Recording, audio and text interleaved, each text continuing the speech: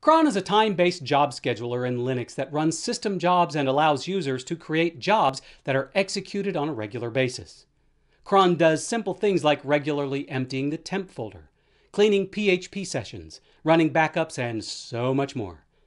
But the one problem with cron is that out of the box, it doesn't have a dedicated log. This can be a problem when you're creating your own cron jobs and you need to debug them. Without a log, you might never know if that job ran.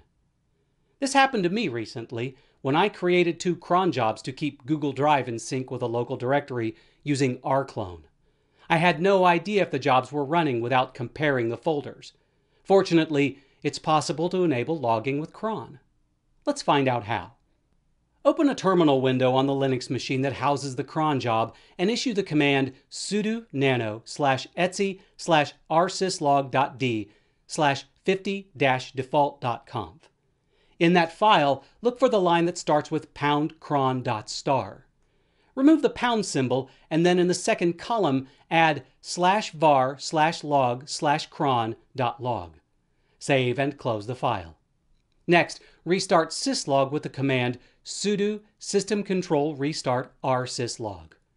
At this point, you should now see the new log file slash var slash log slash cron.log. If you don't see it immediately, it'll appear the next time a cron job runs. You can then read through that file with the command less slash var slash log slash cron.log and troubleshoot any cron jobs that may or may not be running. Hey everybody! Don't forget to like this video and subscribe to our TechRepublic YouTube channel. And be sure to check out more how-to videos at How to Make Tech Work.